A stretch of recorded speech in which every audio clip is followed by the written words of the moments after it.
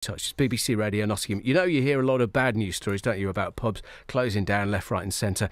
Lots of reasons for that high taxes, high rents, cheap supermarket booze. Uh, there are a lot closing down. However, here is a good news story when it comes to a Nottinghamshire pub. There's a village where the locals are fighting back.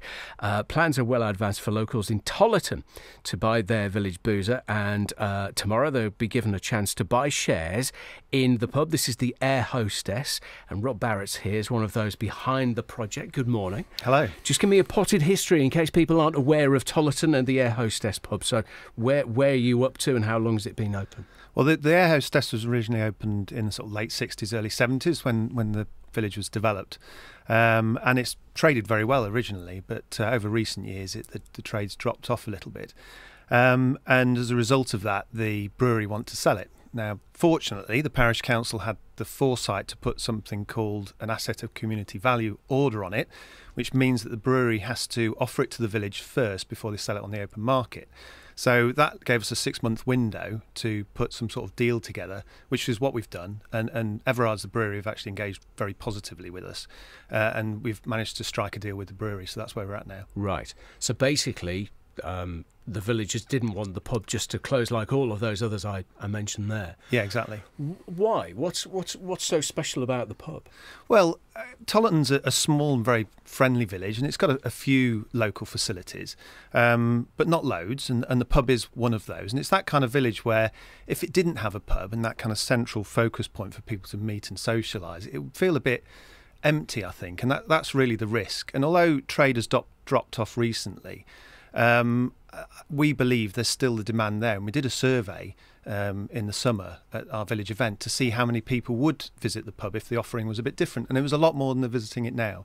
So we believe that there is the opportunity there to, to still maintain a successful business. Yeah. Well, I was going to ask you about that because if you've got a brewery who presumably know what they're, they're doing and they found it tough, how are, are you and your colleagues going to make sure you make it a success? Well, there's a couple of things. I think, firstly, it's still operating under the tied brewery system, which means, in effect, there's two parties trying to make a profit. There's both the tenant and the brewery through rents and the rates that they charge for the beer. And, and that, I mean, probably it isn't sustainable to have two parties trying to make a decent profit out of the pub. So the trade probably isn't high enough for that. But if we buy it, we can charge the tenant a bit less rent and it'll be a free house, which means the tenant can buy beer um, on the open market, and it'll be a good deal cheaper. And that, that probably makes a 20% difference to the to the tenant's margin, which is the difference between a marginal business and a profitable business. And that is one of the key things that we hope to unlock.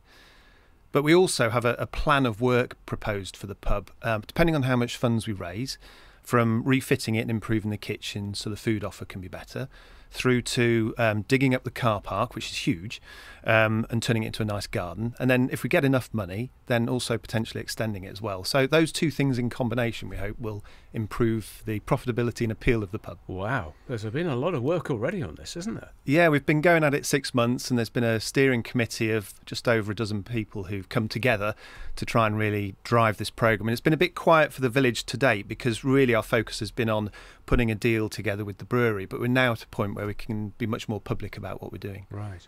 And how's it going to work with these shares then? So uh, we'll offer shares to members of the community, and they will buy a share, hopefully, or shares, multiple shares.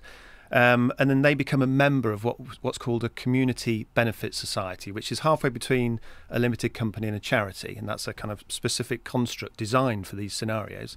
And they will become shareholders in that community benefit society, which will give them uh, voting rights in terms of what we do with the pub. So, as well as just being a shareholder, it's a, those members. That's a great opportunity for us to have a feedback mechanism between the community and the pub itself, so that there's a channel to say for people to say what's working and what's not working. Right.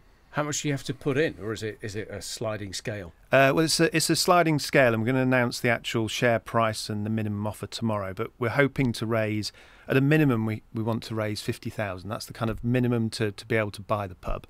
Um, but we're hoping to to um, get two to three times that, so that we can actually do more of the works that we plan. And, and other communities have done this. Actually, we're not the first to try and become a community pub. Um, and actually, smaller communities have made, raised more than we're aiming for. So we think it's realistic. Yeah. And what about the you know things like the insides. You, you talked about the garden and improving the kitchen, what have you. Will people notice much of a change on the actual interior? Yeah, they should do. Um, uh, maybe not straight away. It depends on how quickly we can get things like planning permission. Um, but over time, we plan to do a series of works. So, you know, the, the interior isn't bad right now. It, it's a pub that's ready to trade.